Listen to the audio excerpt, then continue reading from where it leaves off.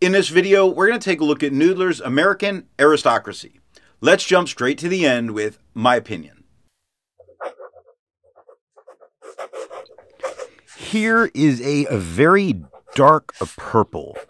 So dark, I almost thought, is this black? But it's not quite, but very dark in what we're seeing right here. It has only the slightest tone variation by nib and never gives any shading, which isn't the end of the world. As a color on non fountain pen paper, it looks pretty good. I think the color looks better on non fountain pen paper than fountain pen paper. But aggressive. When you write with this ink, you also write on the page underneath. This means it's also very prone to excessive feathering and spread. Ultimately, this is an unusable ink for me, and I'm sorry to have to say it that way.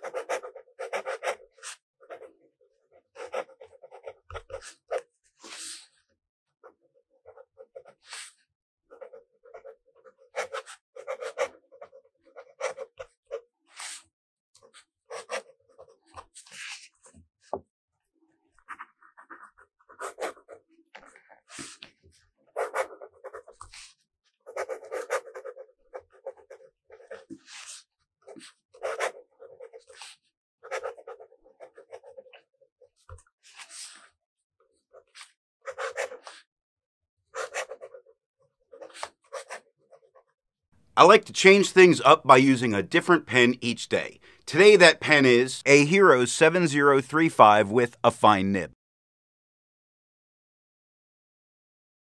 It's inked up, used for a day, and used to take the notes for this video. To see how I arrived at that opinion, let's take a look at the first writing sample done on Clairefontaine.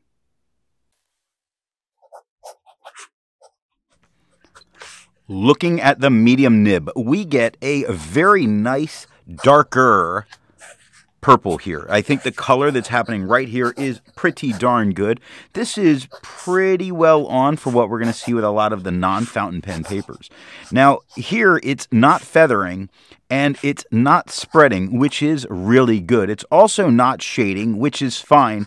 I think the color that we're getting is truly very interesting and it's nice.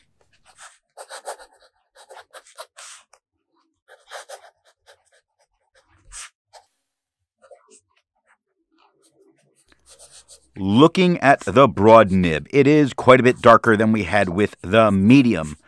And you're going to be seeing it. There's a bunch of tiny feathers all over this. And this is Clairefontaine paper. I'm not used to seeing that.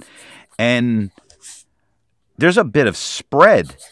And I'm not used to seeing that. Clairefontaine doesn't do that. This is not a good start. Now, there's no shading, but I said there was none. Looking at the stub nib, we get the same tone that we had with the broad. It does feather. What the crap? It does spread. Great googly moogly. This is bad. And if you skip to the end of the review for this, I kind of wouldn't blame you. I don't know that it goes much better. Looking at the back of the page, you see there's a lot of ghosting, and especially with the stub and broad, kind of minor with the medium. I guess you could deal with that, but at least nothing bled through and touched the page underneath. To have a range of experience with this ink, all of the writing samples are done with A Kaweco Sport with a medium nib.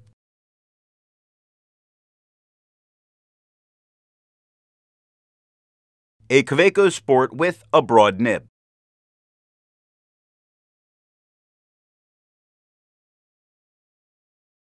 A Kaweco Sport with a 1.5 stub.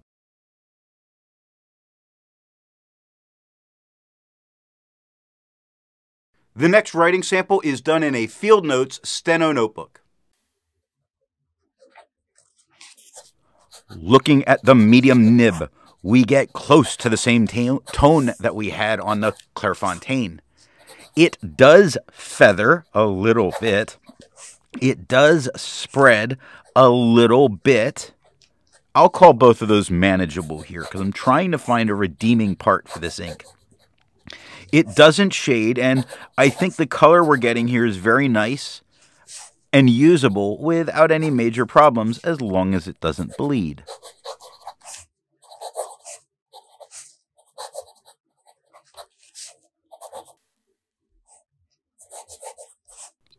Looking at the broad nib, it is quite a bit darker than we got with the medium.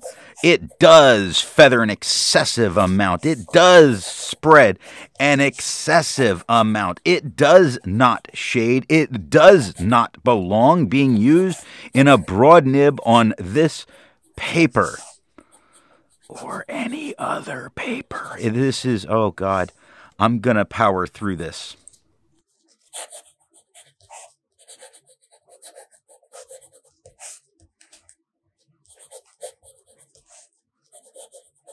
Looking at the stub nib, we get the same tone that we had with the broad.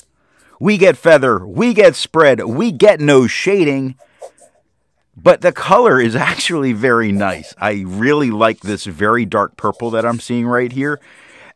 If I could get this very dark purple from them without the aggression of this ink, I think it would be much better. The great news is at this point I've already cleaned my pens and they cleaned without a problem. Looking at the back of the page, you see there is a ton of ghosting. There is no writing on the back of the page. Maybe with the medium, if you really wanted to torture yourself, but nothing bled through and touched the page underneath. I agree with Vita. There's a lot to learn by doing multiple chromatographies.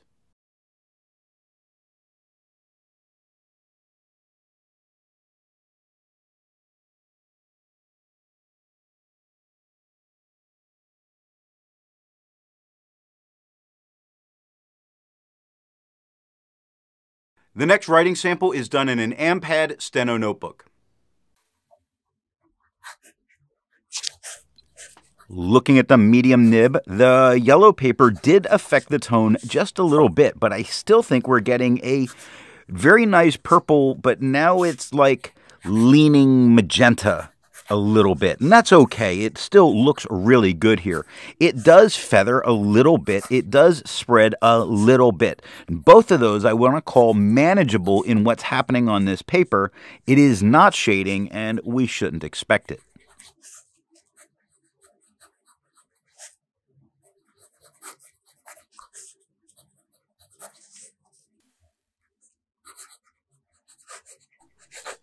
Looking at the broad nib, we get a darker tone than we had with the medium. Still, just a little bit of a kind of magenta lean of this purple. I think it's being very interesting in what we're seeing. It does have a tiny little bit of feather. It does have a little bit of spread. A little bit of spread. Ha! You can watch it spread while I'm writing. The spread is strong with this one. It doesn't shade, but it does write.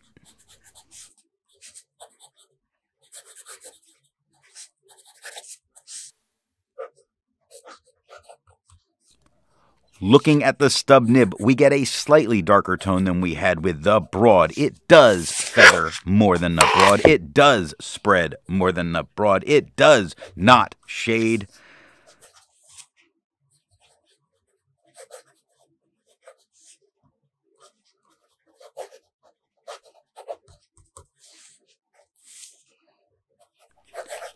Looking at the back of the page, there's a lot of ghosting and there's no using the back of the page. And the page underneath, there was a lot of bleed through in everything that was circled, so there's no writing on the page underneath. I mean, I could, but I'm being dramatic here. Resistance tests are done to see how this ink can be expected to perform on the page, and more importantly, how hard it may be to clean from your pen. This smear is allowed to dry for three days before testing it. And here we see the results of the resistance test.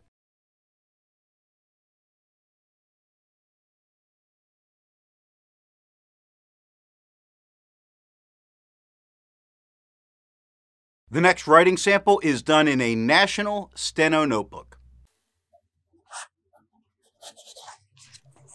Looking at the medium nib, we get back to more towards a purple, a little less of the magenta here. It's not being as affected by the tone of the paper as much as it was with the last one.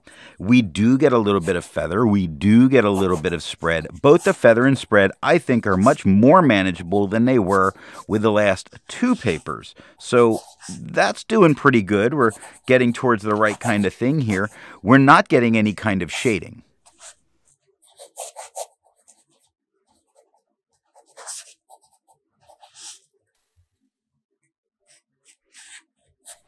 Looking at the broad nib, we get a darker tone than we had with the medium. We get a little bit of feather. We get a little bit of spread. Little bit being a nice way to say it. We get some spread. It's like a whole dirty moment went in my head. We're just going to stop and say, there's no shading. Dirty, dirty ink.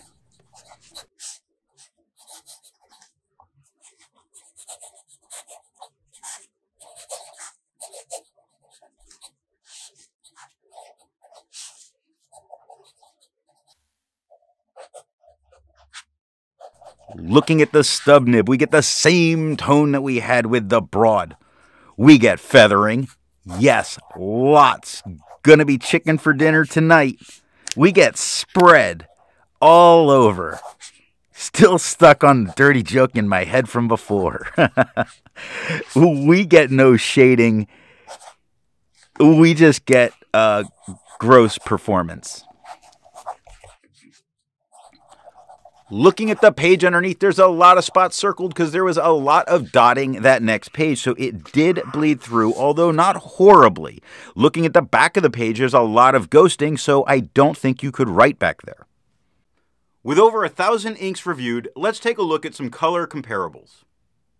Here is Diamine Lilac Night. Here is Noodler's Concord Grape.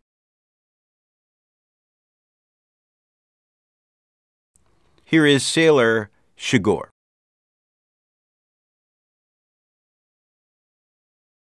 Here is Wancher Original Ebine Violet. The next writing sample is done in an Office Depot steno notebook. Looking at the medium nib, we get a nice purple, a little bit more of the purple than the last one. I think this paper is working a bit better. We do get a little bit of feather. We do get a little bit of spread. We do not get any kind of shading. I'm really looking forward to how this is done. This has become like I am so in hope of this paper being the paper to redeem this ink because it did beat up on Clairefontaine.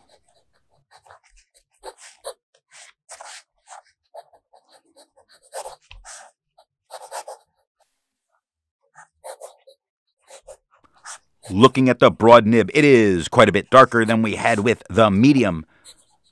It does have feathering. It does have spread. It does not have shading. I really like this tone that I'm getting right here with the broad. If I could get it without the feather and the spread, this would be amazing. With that, looking at this paper, the medium or most likely a fine would be a great choice, I think, as long as we're not bleeding.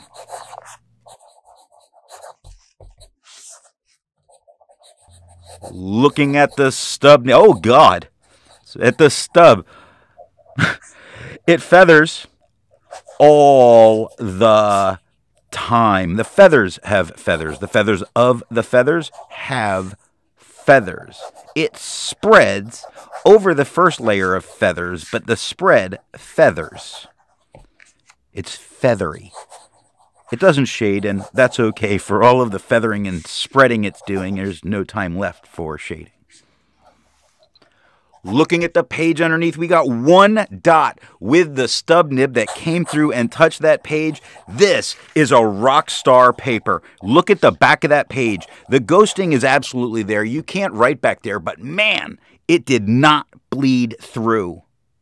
While it's nice to find other inks in the same color family, I'd prefer to find an ink that complements its color on the page. Here is a green ink by KWZ, their Hunter Green. Here is a gray ink by Levenger, their Smoky.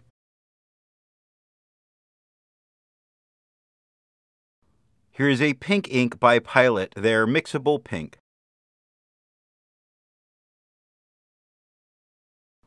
Here is a yellow ink by Sailor, their Kobe number 21, Sai Sanjo. The last writing sample is done on 20 pound copy paper. Looking at the medium nib, we get a little darker tone than we had with the Clairefontaine. We get feather, we get spread, we get no shading. I think it can perform as well here as it did on any other paper. So, good luck, everybody.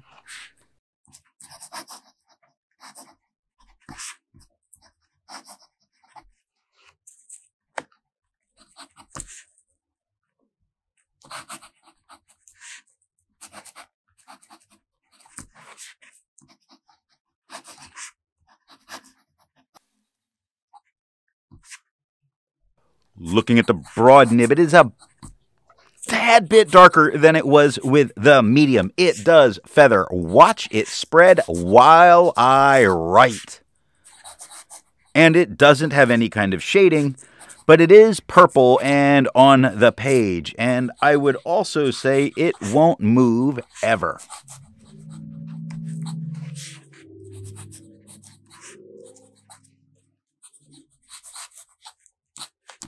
Looking at the stub nib, we get the same tone that we had with the broad. We get no feather. We get no spread.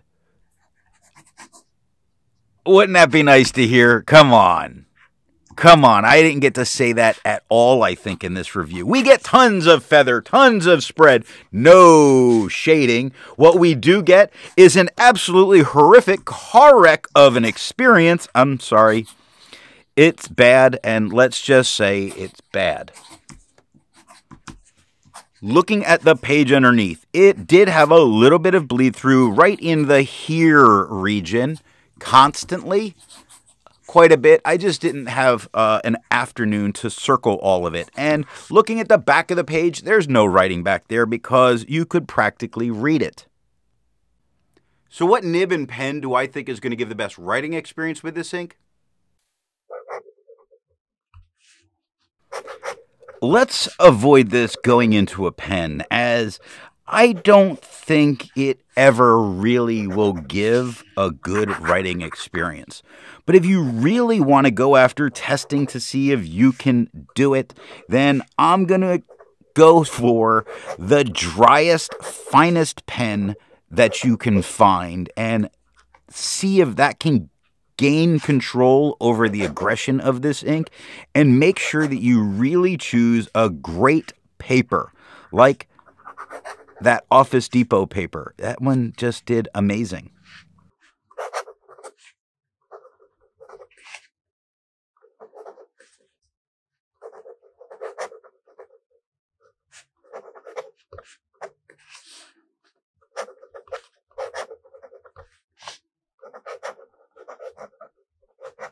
I hope you got something out of this video, and if it leads to you wanting to try this ink, when you purchase it, let the retailer know where you heard about it, whether it's me or any other channel.